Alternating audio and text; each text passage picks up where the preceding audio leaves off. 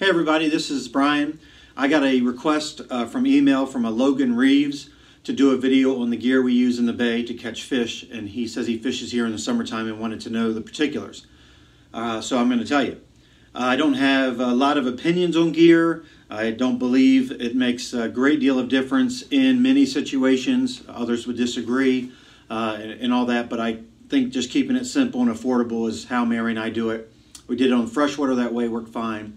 And uh, we bought some nicer gear for freshwater, but I don't really think it made a whole heck of a lot of difference. Maybe in certain areas it'll make a difference. I think certain applications it starts to get more specific. But, but just the basics are what I'm going to cover, what we use, and you guys can, you know, hopefully to help you out.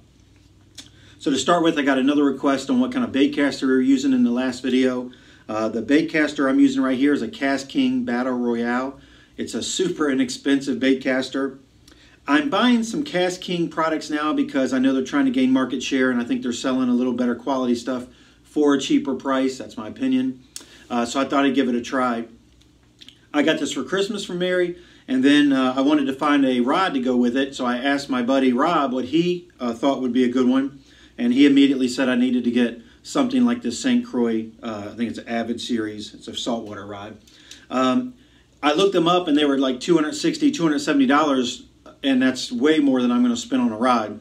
And he was able to locate one on eBay that's a, a B stock. You know, it's a one-year warranty. It has some defect in it of some type, so they sell them for less. And he actually picked this up for me, which was awesome. So this bait casting setup I have now, which is only on one video, I just started using it, uh, is a uh, seven-foot medium heavy power fast action graphite rod.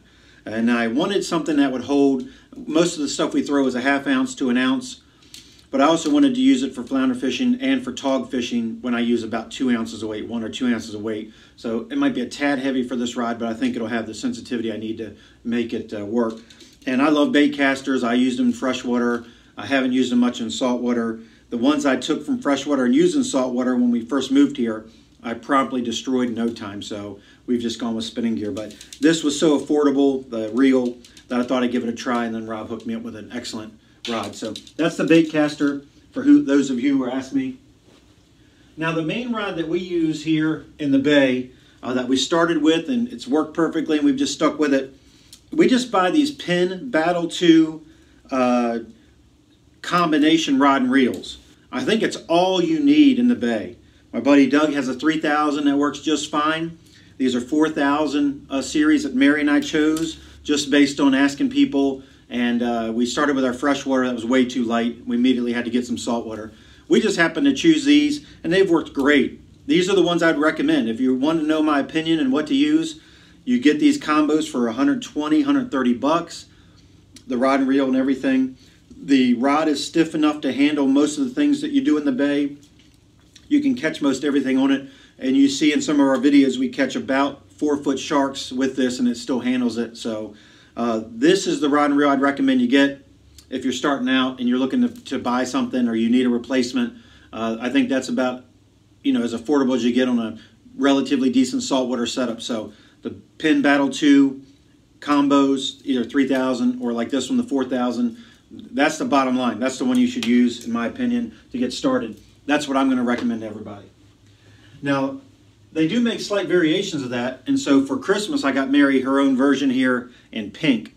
This is a Penn Battle 2 Passion Series. It's just uh, made for female anglers, 4000 has a different little grip on it and all. So I just got some pink braid for her, and uh, she uses that. So this is a rod she's going to use just for herself.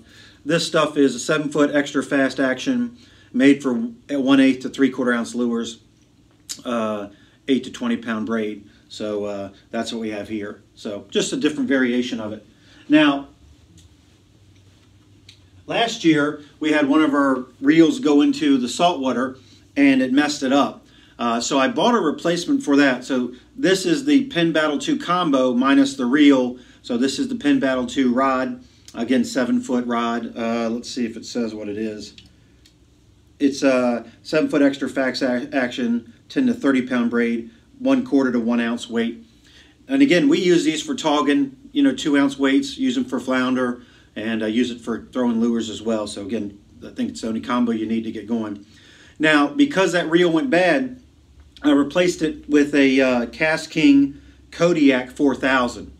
And the reason I went with this is it's priced reasonably. It's not that expensive, and it has a magnificent amount of drag. I don't. I'll, I'll put up the stuff for you, but I don't know what it. It's a. It's a. It's a lot. So I'll put it on there, and, and you guys can look at it. You'll be watching it over me as I talk here. Gives you some of the specifics on it, but I just simply replaced it. It's a little bit different feel though. It has a round ball here, round handle on it, which is different. Whereas those have a, a, a flatter, you know, feel. So as soon as you switch, it's immediate. It's different. But uh, I just went with it just to give it a try. The verdict's out on all this KastKing stuff. Uh, I use it, but I haven't used it long enough to give an opinion if the reels are any good or not. They might be crap, but they, they seem okay. Now the line that we use on almost everything is the KastKing 20 pound braid. Okay, I'll put up on the screen for you as well. Why do I go with this? Well, it's affordable. You know, it's worked. Uh, I had some um, Power Pro that we used before and uh, I had it on my freshwater rods for a long time. It worked fine. This was just a little less expensive. Uh, I don't think color really matters. We go with blue. You probably should go with moss green. We did pink. I don't think the fish really care if the water's you know not super clear. Um, anyway, so that's what we use. 20 pound KastKing braid. Now on the front of these rods, like if I'm throwing the bait caster here, and I have I have my barrel swivel and I want some fluoro on it before I attach my tactical angler swivel. Uh, we just use some some fluoro. I use that for the tog rigs and flounder rigs as well. So this is KastKing, and it's called a fluoro coat and this is 30 pound but and it's crystal clear colored but this isn't leader material it's not advertised this isn't the advertised leader material the reason I went with regular 30 pound fluoro is that you get gobs of it for the same price as of just a little bit of leader. Now it's not as thick. If you get 30 pound leader and 30 pound fluoro, both fluoro, one's labeled leader, the, the leader's clearly thicker. My guess is they're simply making 30 pound leader that probably is more like 50 pound you know line and they're just calling it 30 pound leader it's just simply thicker so anyway just a heads up on that but i bought this just because you get tons of it so I think that's the way to go. Not quite as durable as 30 pound leader, but it's a heck of a lot more expensive. Okay.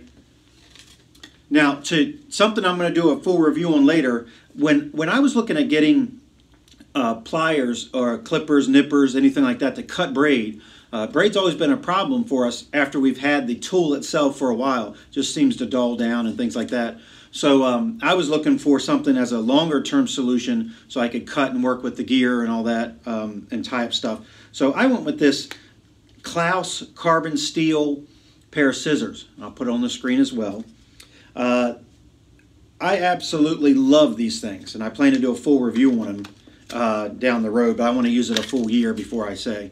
All I do is spray it a little bit with some uh, Yami lube or you know WD-40, anything like that and go for it. But these things have so far cut like butter. They've been superb, and we've used them a lot. No signs of wear or anything on them, still real sharp. So that's a recommendation there. Finally, the clips that we use uh, to tie, to clip on uh, artificials is the Tactical Anglers clips. We use the 50 pound or 75 pound. I recommend the 75 pound unless you're using real small baits. Uh, and that's really it. That's that's it for gear. I don't really get any fancier than that. Uh, trying some new things to have some fun. But if, if you're looking to get started, buy the Battle 2 combos or 3000 or 4000 series. Put some KastKing 20 pound braid on it. Uh, put your stuff on there and get fishing. That's really it. I uh, hope that helps you out, and I'll talk to you later.